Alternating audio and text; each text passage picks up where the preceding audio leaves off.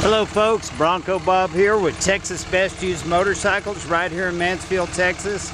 I'm here today to show you a 2005 Ram 2500 four-wheel drive. It's kind of a ranch truck. It's got the big ranch hand bumpers.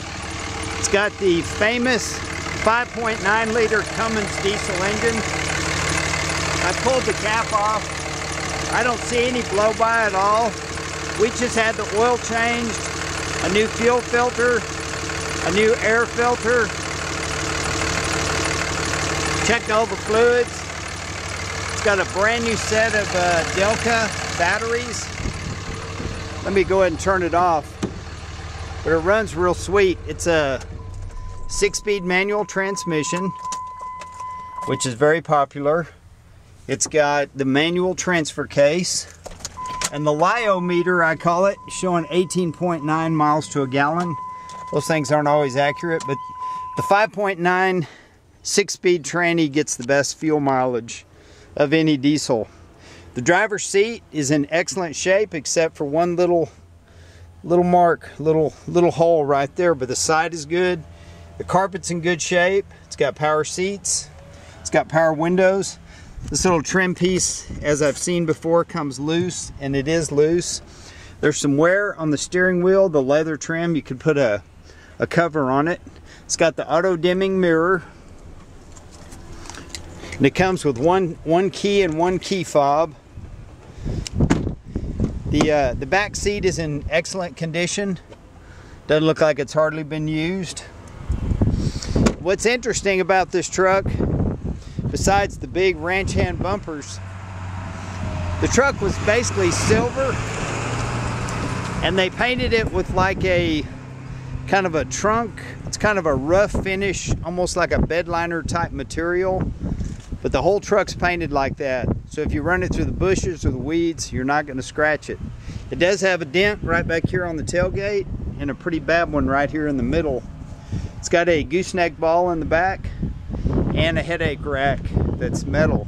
The tires are basically, they look about new. They don't have very many miles on them. It's got chrome steel wheels. It's got the overload springs in the back. It's got some nice steps that come up the side. But you can see kind of the, the rough texture finish. And then on the bottom, it's like a satin black below the molding.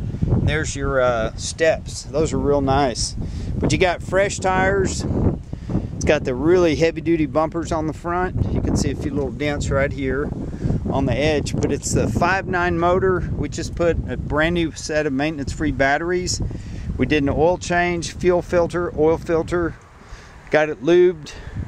Basically got it serviced and ready to go. So if you're out of state, you can fly in and drive this truck anywhere you want to go. The clutch is strong. I've shifted through all the gears. They shift good. They're smooth. There's no grinding. You can tell the truck originally was a silver, platinum silver truck before they put the, the ranch coating on it. But it's got a few flaws. The mirror is functional, but the, uh, the extension here, you can see it hit something, it's broken. It does extend out and they're heated mirrors. Those are good for towing. The truck is certainly isn't cosmetically perfect. You can see some of the silver paint coming through on some of the edges. But basically, if you're going to use this truck for hunting, for a ranch, to work, pull a trailer, you don't have to worry about waxing it. Everything that needs to be good about the truck is good on this truck. You got the big heavy duty bumpers, fresh set of load rated tires. The six speed transmission is very desirable because you get good mileage. You don't have to worry about washing it and waxing it. And the interior of this truck is actually very, very nice. In fact, we'll take it for a spin. The radio knob is missing. I'll show you that. You can still turn the radio up and down with the actual knob. You could probably get one of those from the, from the Dodge house for about five bucks. It's got a brake controller. We'll start her up here. But there's no lights on the dash. Everything's in good running condition. And as I mentioned, the LiO meter showing 18.9. Got, again, six-speed transmission. The AC blows cold, the heater works good. It's just a, it's a good truck for the money. If you don't mind the, the paint job or the, the lack of a paint job. Just kind of driving it down the road here. Needs a steering wheel cover. I'm gonna pull over here and walk around let you get one more look. And we will wrap this video up.